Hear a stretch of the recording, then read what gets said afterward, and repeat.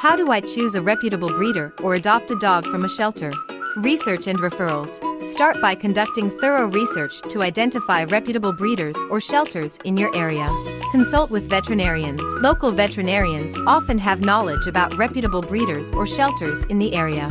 Attend dog shows or events. Visit dog shows, breed specific events, or local adoption events where you can interact with breeders, rescue organizations, and shelter representatives. Check breed clubs and associations.